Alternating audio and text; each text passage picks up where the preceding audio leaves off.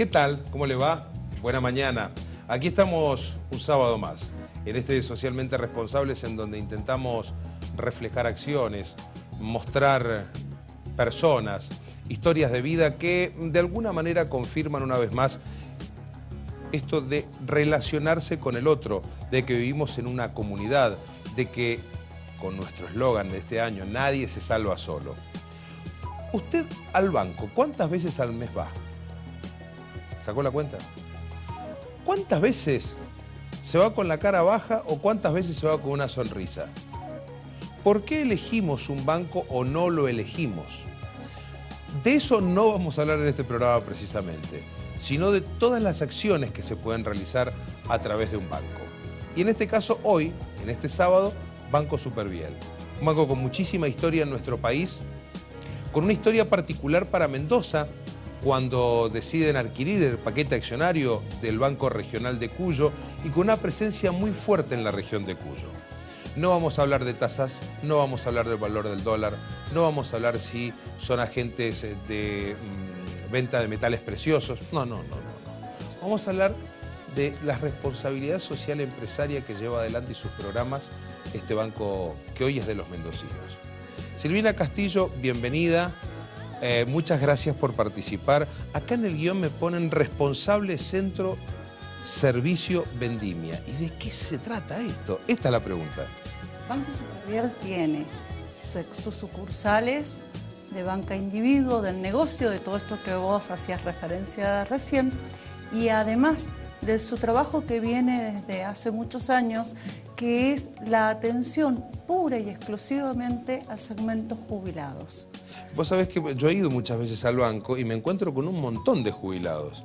Y esto yo decía, ¿cuántas veces uno se va con la cara para arriba, con una sonrisa o una tristeza? Pero ustedes se están encargando desde otro costado, con un sector social muchas veces olvidado por nosotros, los más jóvenes, entendiendo que nunca llegaremos a esa edad, y por otros que se han encargado definitivamente de apartarlos del camino. ¿Y ustedes hacia dónde apuntan? A atender a ese segmento, a atender al, adulto mayor. Esto que decías, ¿qué significa? responsable de un centro de servicio, Banco Superviel en Mendoza tiene ocho centros de servicio, pura y exclusivamente para la atención a jubilados. Están ambientados para nuestros clientes con sillas, con aire mm, eh, acondicionado, calefacción, música, entretenimientos.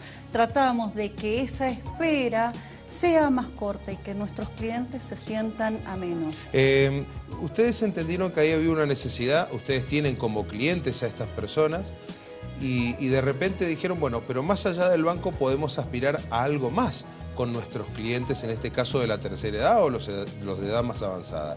¿Y hacia dónde apuntaron su visión? Pura y exclusivamente es la atención al cliente, a satisfacer la necesidad del cliente. No solamente de los financieros, que si bien él funciona como banco y le puede brindar todos los productos que el cliente requiere o necesita, sino de la parte social sentir o tratar de brindarle a los abuelos un ambiente y un lugar y todos los servicios que a ellos los hace bien. Sabemos que es un segmento que está discriminado, que se ven esas largas colas, que no son atendidos, por el contrario, a veces son maltratados. Lo que buscamos es que justamente encuentren la antítesis de todo. que se eh, sientan cómodos, que estén tranquilos, que estén relajados. Nosotros con nuestro noticiero muchas veces nos enfrentamos a estas situaciones y sin hacer distingos de marcas de bancos o de empresas y demás, nos encontramos con que esa, esa situación del desplazamiento, del maltrato. Y también una visión que tienen o que tenemos todos cuando llegamos a una determinada edad en donde nos cuesta mucho entender los cambios o asumir que no hay que levantarse a las 4 de la mañana para ir a cobrar una jubilación o una pensión, si hoy, sino que hoy hay otros mecanismos que eh, pueden llegar a beneficiarnos en nuestra vida cotidiana. Eh, creo que va, perdón, creo que va en hacer docencia y en escucharlos. Hay muchos paradigmas que dicen el jubilado o el adulto mayor no puede ir, por ejemplo, a un medio automático. Sin embargo, van. Un adulto mayor no va a aprender computación, Con nosotros los abuelos aprenden. ¿Y cómo hacen eso? ¿Qué acciones llevan adelante? A través de Abuelos en Red, que es un programa de responsabilidad social. No me digas, Abuelos en Red. Es, decir, la herramienta informática al acceso de una persona que cuando veía una máquina de escribir hace 40 años atrás ya era un boom y ahora la posibilidad de utilizar una red de servicios de esta naturaleza. ¿Y, cuáles fueron los este, escollos más importantes que ustedes encontraron cuando empezaron a desarrollar este programa de Abuelos en Red? No, en realidad fuimos de a poco, hicimos mucha docencia en, mostrarlo, en captar a los clientes. Y ellos, ellos también hablan, ellos son los que piden. Eh, eso llevó... Claro, el abuelo que ve el nieto, el abuelo que ve el nieto, lo veo a mi nieto todos los días frente a la computadora, o mi hija o mi hijo que, por ejemplo, hace un pago a través de la computadora, yo también tengo la necesidad. ¿Qué cambió en nuestra sociedad como para entender que no se puede desplazar este segmento etario, a este, a este grupo social? ¿Es difícil cambiarle la cabeza a los jóvenes que a un abuelo se le tiene que explicar de otra manera?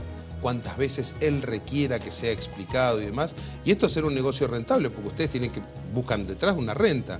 Sin embargo, no es tiempo perdido por lo que observo.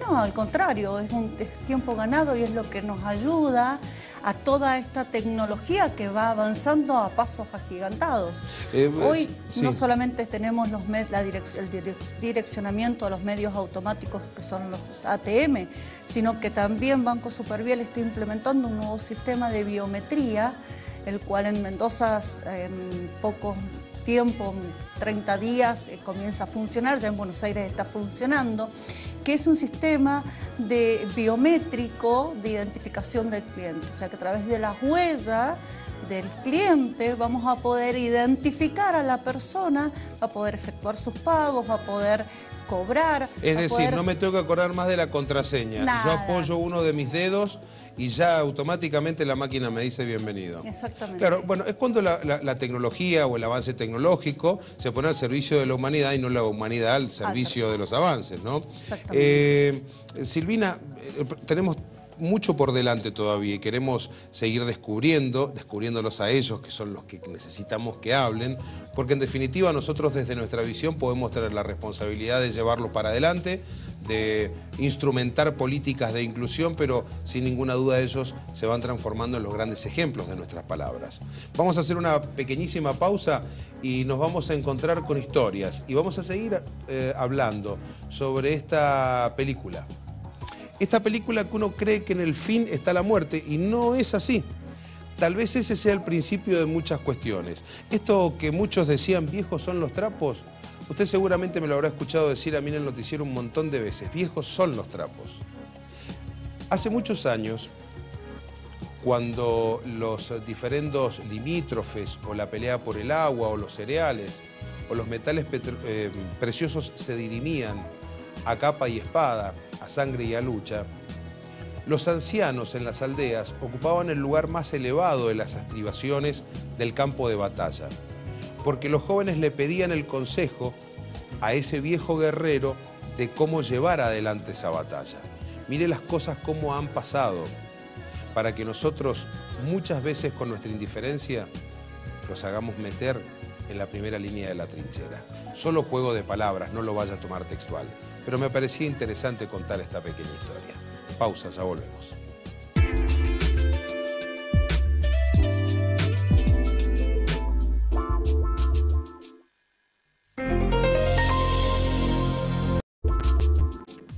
Seguimos en este segundo bloque, socialmente responsables, no nos podemos olvidar de ninguna manera.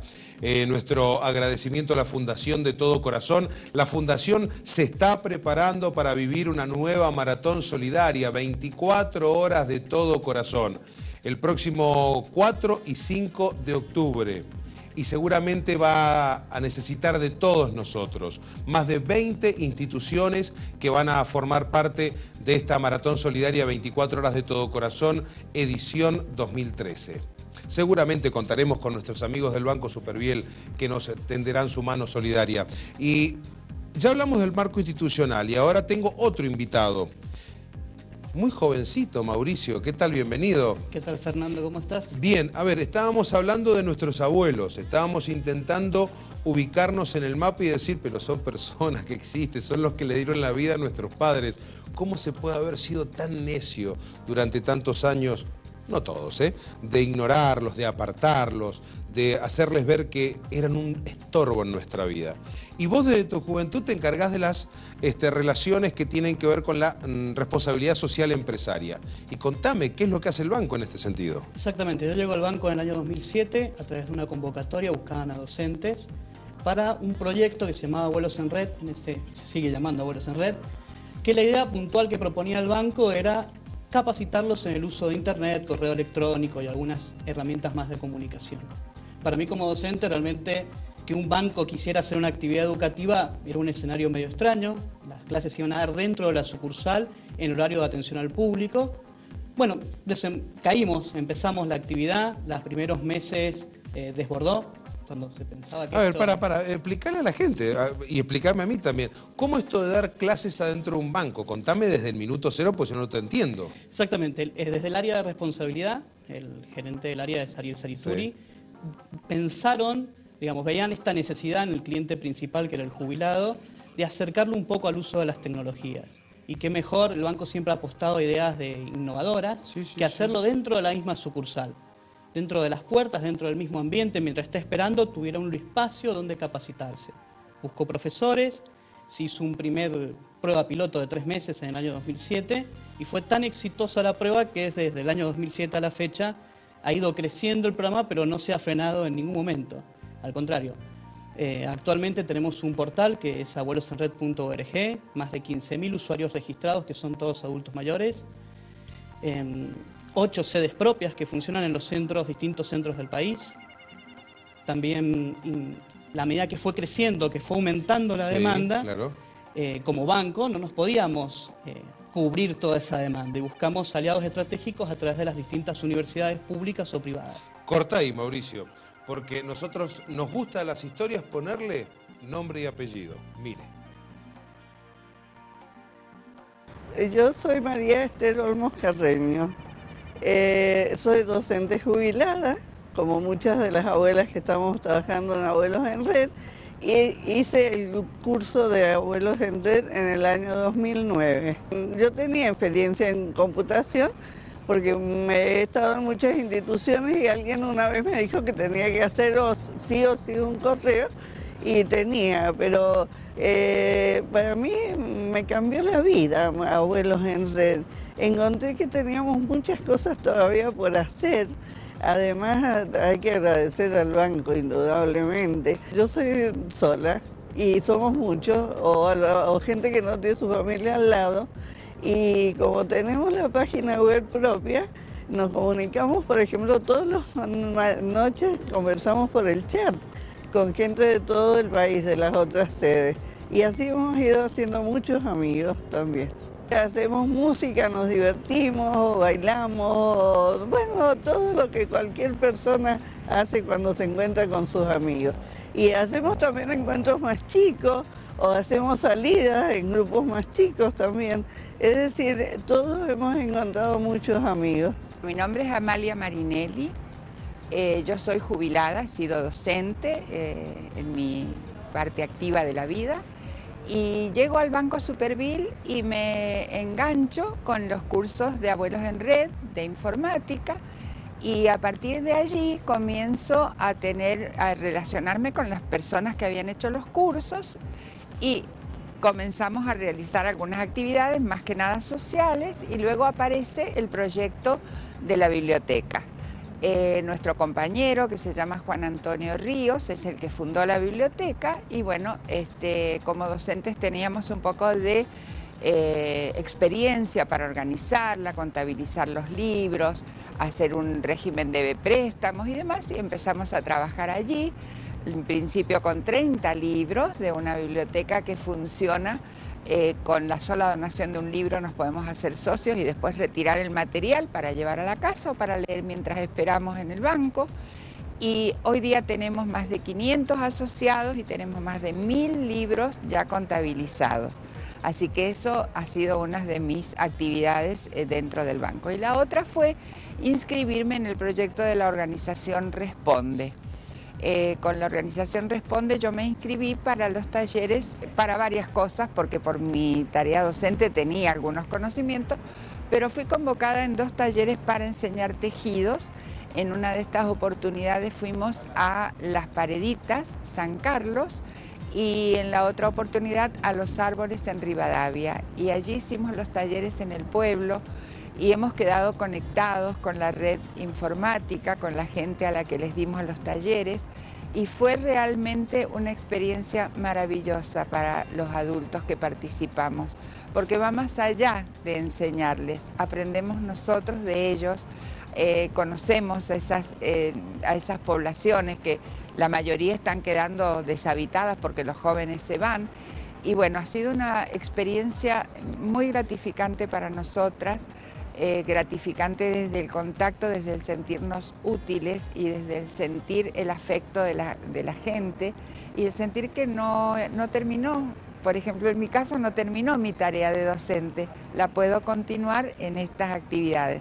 Enseño a tejer, les enseño a tejer a los varones con los deditos, sin, agujas, enseñamos telares, enseñamos eh, a hacer cotillón, a cocinar a preservar alimentos cuando los quieren hacer en conservas. Eh, tenemos una persona que ha enseñado soldaduras. Bueno, todas estas cosas ayudan a que en estos pueblos la gente pueda capacitarse y quedarse en su lugar en lugar de tener que emigrar. Y esto yo creo que es una tarea muy importante la que estamos haciendo para ellos y también para nosotros. Te corté para escuchar estos testimonios maravillosos y decía, se nos fue haciendo tan grande esta historia que recurrimos a las alianzas estratégicas con las universidades de todo el país. Contanos el ejemplo mendocino. A ver, el primer abuelo que vos recibiste, le dijiste, mire señora o señor, yo le voy a mostrar, esto es una computadora y usted por esta computadora va a poder operar sencillamente. ¿Cuál es el primer escollo a vencer? ¿El miedo, el temor, lo desconocido paraliza? Por un lado el temor, muchos de los abuelos que se acercan mm. eh, vienen de la casa que han intentado o han intentado hacer cursos en otros lados y se han encontrado con un ambiente que no estaba diseñado para ellos. Creo que Abuelos en Red demostró que era distinto porque todo el programa se basa específicamente en las necesidades que tiene el adulto mayor al momento de comunicarse o de aprender. El curso es un curso corto, por lo cual no se extiende mucho en el tiempo, dura solamente un mes son dos veces por semana, dos horas cada encuentro, y el adulto encuentra un programa que está diseñado para sus necesidades. Este mismo modelo ha sido tan exitoso que al extendernos a las universidades aplican nuestro propio programa. Es decir, las universidades están enseñando con el modelo que propuso el banco desde el año 2007. Hoy en Mendoza eh, tenemos un acuerdo con el ITU, así que casi cinco sedes del ITU a nivel provincial están están en este momento inscribiendo y dictando cursos en, San Rafael, General Alvear, Tupungato, eh, Luján.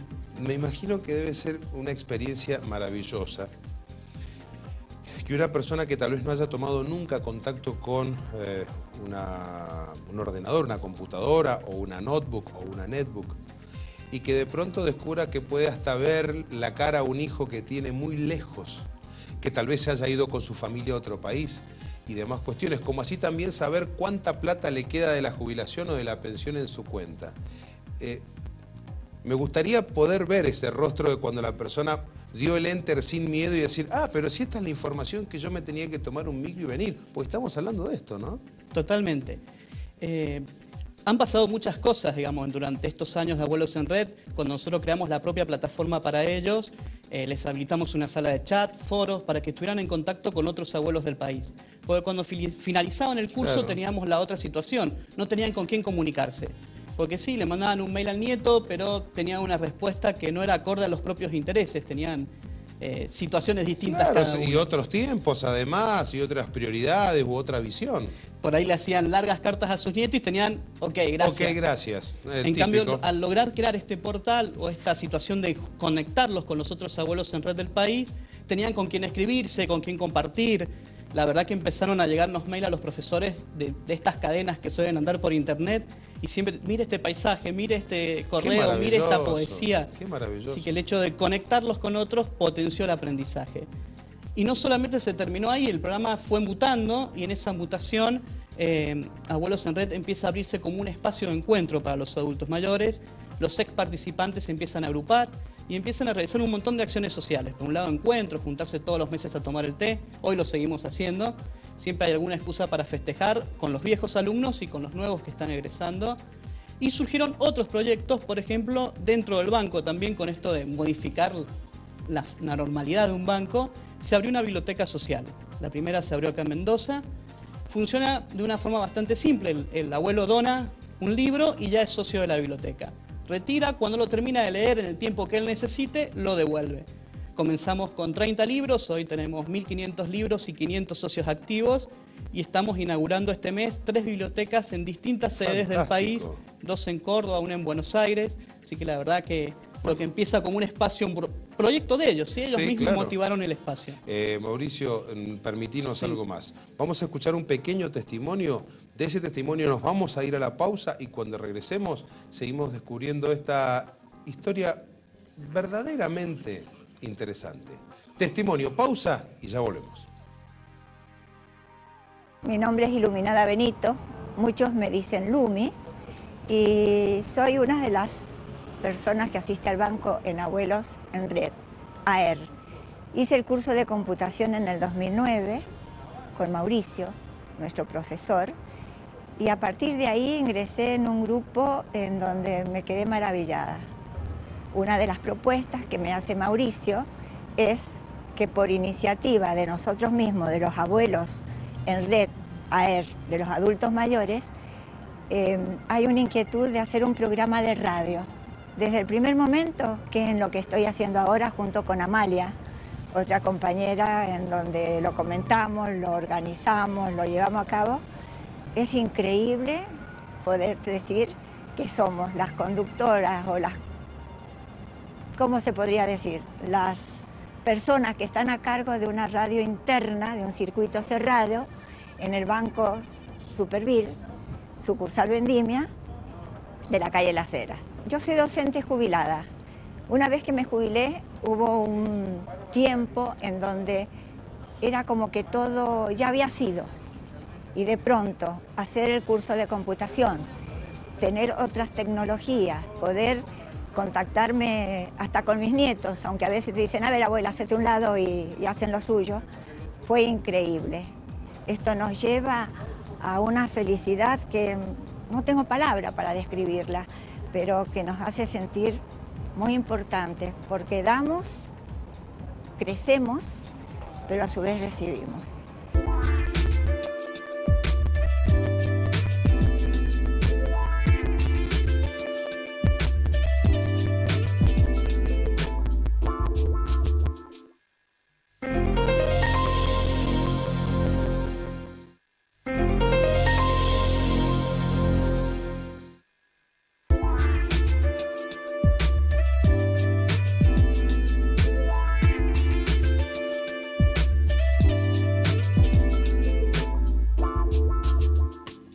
Hay muy poco tiempo, ¿eh? nos queda un solo bloque y tenemos que hablar de tanto. Mauricio, ¿cómo es esta historia de los oficios? Bien, eh, a través de la Fundación Responde, es una fundación que se dedica a recuperar pueblos que están en proceso de desaparecer, porque los jóvenes no se quedan y no encuentran una actividad que desarrollar. Nuevamente el banco tiene esta filosofía de involucrarse en los proyectos en todas las etapas, no solamente colaborar financieramente o apoyarlo financieramente, sino involucrarse en todas las etapas de un proyecto y responde eh, articulamos a través también de los abuelos, porque nuestra visión del adulto mayor es que sea un adulto mayor activo. Para ver si entiendo, ese abuelo que conocía mucho sobre un oficio, que tenía el ABC de esta historia y tiene el tiempo, además de los conocimientos para hacerlos, ustedes canalizan. Se convierten en instructores y van a dar talleres de oficio a estos pueblos donde se están acabando las posibilidades. ¿Y puede ser un abuelo de otro lugar que ustedes lo, lo trasladan? Totalmente, los trasladamos, los llevamos, eh, se, les dan los materiales, se les da un preentrenamiento para que puedan enseñar y se convierten de un día para el otro de estar sentado esperando a cobrar a ser un profesor en algún pueblo que le hace falta. Y además que creo que esto, más allá de la revalorización social, es, Es decir, todavía se puede hacer tanto, porque mientras vivimos podemos hacer tanto, construir tanto. ¿Cuáles fueron aquellas experiencias que más te, te marcaron, te, estimularon? Me imagino que debes haber visto tantas caras, tantas ideas. Eh, cada cosa que hacemos con los adultos mayores realmente demuestra que tienen ganas de hacer y que por ahí no existen espacios donde se los escuche y se les dé la mano para invitarlos a participar. Nosotros tenemos ese, este nuevo paradigma, es decir, nada de un adulto pasivo, sino un adulto mayor activo. Y creo que seguimos trabajando en función de esa visión, de pensar que los adultos pueden hacer cosas y solamente es cuestión de abrirles el escenario. Eh, de los adultos nos vamos al otro lado de la tabla de posiciones. Exactamente, al este, otro lado. Si hablamos, si hablamos del deporte y nos metemos en los jóvenes. Exactamente. El ¿Y qué con los jóvenes? El banco no solamente tiene a los adultos mayores como clientes, sino que tiene una gama importante de clientes y ya tiene experiencia también que venía desarrollando hace unos años atrás con la Fundación Impulsar, sí, claro. de desarrollo de emprendedores. Y este año trajo a Mendoza el programa Naves, que es de la IAE, de la Business School, eh, justamente es una competencia de negocios, pero más que una competencia de negocios es un programa, donde los jóvenes pueden tener su idea de negocio, pasan por un ciclo de formación y finalmente pueden terminar construyendo esa idea en una empresa. ¿Cómo?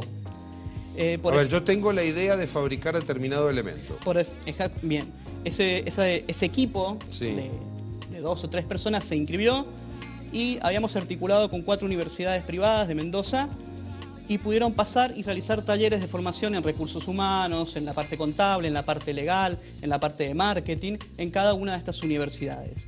Al final, los proyectos que lograban armar una propuesta y defenderla tenían la posibilidad de ser becados para participar en Naves Nacional. Hoy tenemos ocho proyectos que están representando a Mendoza en Naves Nacional y que han sido totalmente becados por el banco, en lo que es traslado para cada uno de los seminarios, alojamiento, etc. Bien, vamos a escucharlos a ellos, a los más jóvenes. Mira el testimonio. Soy Natalia Narrala. Eh, actualmente me desempeño como presidente de Vínculos Empresa Junior, que es con el proyecto que nos hemos presentado en Naves Mendoza y con el que estamos compitiendo en Naves eh, a nivel nacional. Nuestro proyecto entra dentro de la categoría de empresa social en la competencia Naves y consiste en una empresa junior que es administrada por estudiantes de carreras de grado que brindan servicios de consultoría a pymes del sector. Y lo bueno de esto es que el estudiante, con la experiencia que adquiere dentro de la empresa, aprende a gestionar su propia empresa, es decir, nos desempeñamos como presidente, como vicepresidente, como director de marketing, director de finanzas, es decir, aprendemos la gestión interna y a su vez prestamos servicios de consultoría en eh, el área en la que nos estamos formando como futuros profesionales.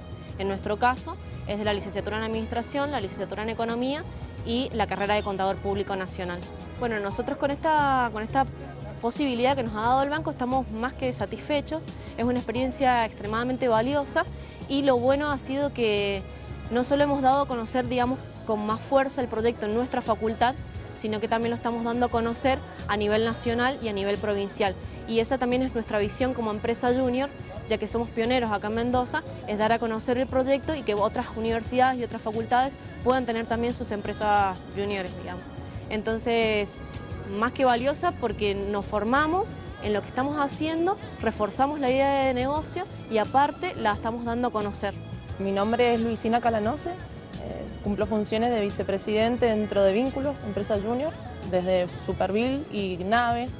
Nos están dando un montón de herramientas y posibilidades para poder explotar este, esta idea exitosa. Nuestra historia continúa, ojalá y posiblemente que podamos ganar y poder continuar con este proyecto. Si bien lo vamos, o sea, nuestra idea es perdamos o ganamos seguir con este proyecto porque realmente le hemos puesto mucho a este proyecto de nosotros, sí es parte de nosotros y eh, por suerte lo tenemos muy interiorizado, pero como objetivo desde Naves es primeramente poder eh, afianzarnos y arraigarnos dentro de la facultad, sí, acá en la provincia y poder transmitirlo a nivel nacional, porque eh, la idea es no que seamos únicos y poder, digamos, eh, ser exclusivos o como competencia, sino la idea es que todos los chicos tengan la posibilidad de disfrutar y de poder capacitarse y formarse. Superville es una empresa grande, conocida, nosotros somos emprendedores, o sea que llegando desde la mano de Superville estamos alcanzando un montón de, niveles o de contactos con personas que por ahí, o sea, ir al IAE para nosotros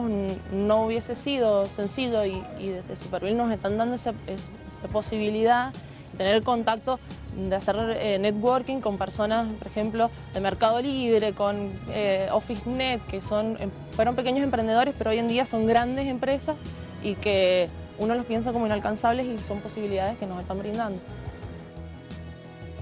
Solamente nos queda, Mauricio, tenemos 30 segundos finales, agradecerte. Agradecerles a ustedes que entienden que la realidad puede pasar por este lado y, e invitarlos. Este espacio es un espacio de puertas abiertas para seguir sumando. Bueno, muchas gracias. Invitamos a todos los adultos mayores que quieran participar. Están abiertas las Decinos, ¿cómo?